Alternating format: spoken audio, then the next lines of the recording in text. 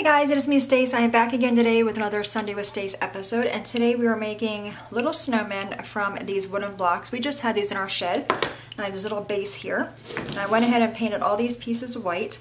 Um, first I'm going to flip the base over and hot glue some felt to that.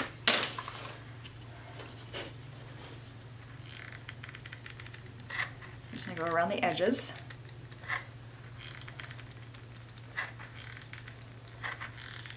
Bit in the middle. And then flip this over and glue this to the back side.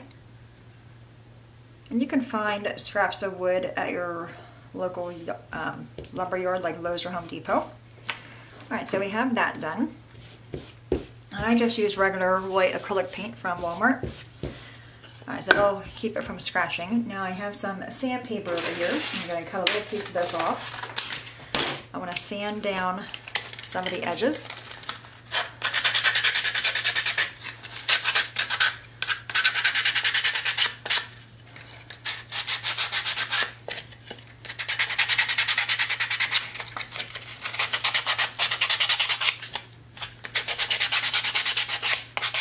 Just so it kind of ages it a little bit.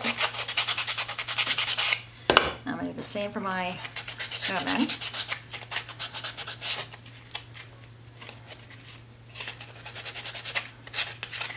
I need your opinion below. I'm using my new camera today.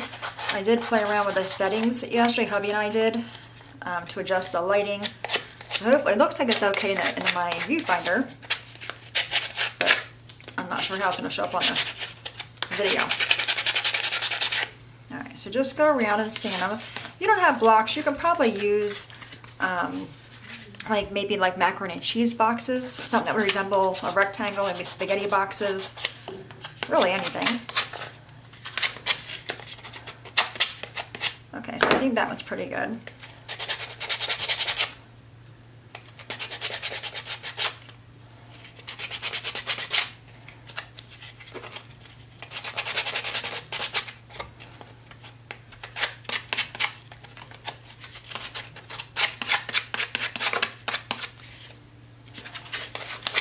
Just want to get it to where they're not so perfect.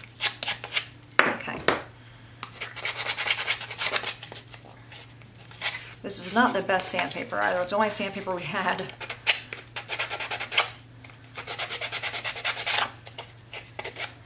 Okay. Just figure out which one you want to be the front. I want to paint on the noses and the eyes. A little bit more on this one here. Okay. Now that I made a mess, let me grab a wipey. Clean that up a little bit.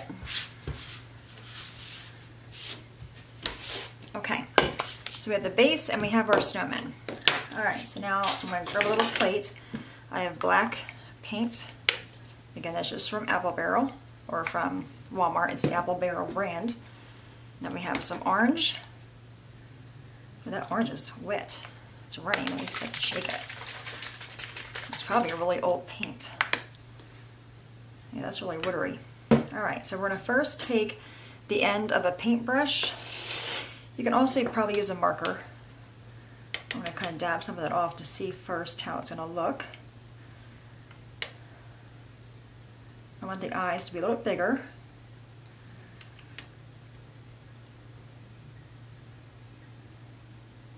Okay, so I'm going to leave that one alone to dry and then do this one.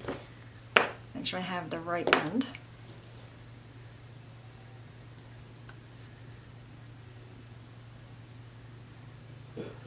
This would be fun for the kids to help out with. Okay, so we have his eyes. They're already cute.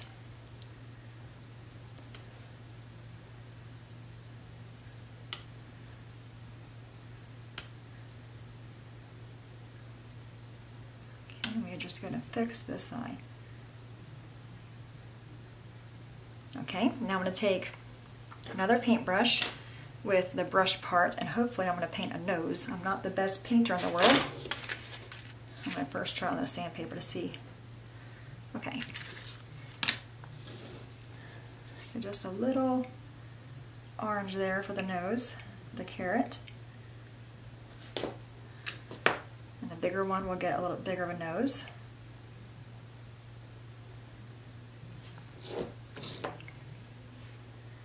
Then guy a little nose.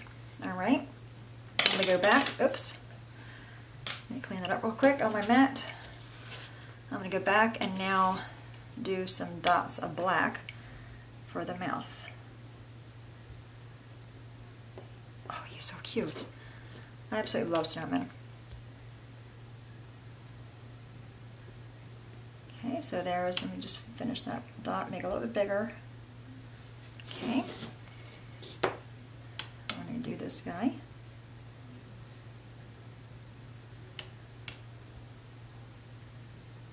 Aren't they cute? All right, now to finish these up, I'm to close up paint. All right, so I got it on my board here. Let me go in and get my little sponge. I just cut up a kitchen sponge, or I wet it first, then cut it, and I use that to sponge paint them. All right, now what I want to do is attach a scarf. So what I have here, I have this green raffia. I'm going to put the green on the bigger guy. You can also use fabric if you want to, or felt.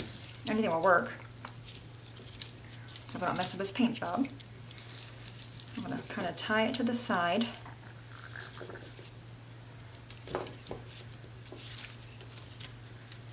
And then bring that down so it kind of hangs like a scarf would. And then cut some of it off. Oh, isn't he cute? So cute. All right, let's go ahead and do this guy. We're gonna do him in this red, although I think it looks more pink. I'm gonna do the smaller guy in the red. And you can use anything here for this scarf. You, like I said, you can use fabric, you can use ribbon, you can use felt.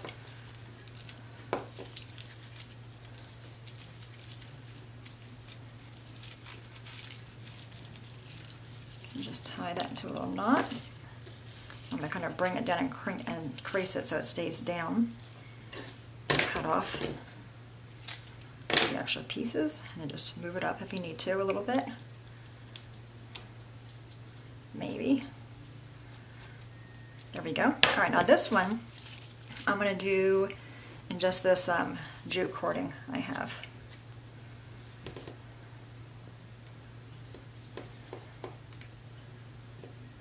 And then they're just to sit. So I might hot glue them onto the base. Because I know come Christmas time I'll probably lose one of these snowmen. So I'll probably hot glue them on there. Okay, and again I'm going to kind of bring that down and pinch it so it stays in that downward position. Oh, okay, so there is a one snowman. How cute. And this one and then the baby. All right, so we're gonna put them on our block. We have that one there, the little one in the front, and the other guy. I'm gonna fix his scarf. Bring it up some a little bit. I'm gonna bring that down. Okay, he's gonna go back here, right? All right, let's go ahead and hot glue them on there. I'm going to take this guy, be careful of the paint, that's probably still a little wet.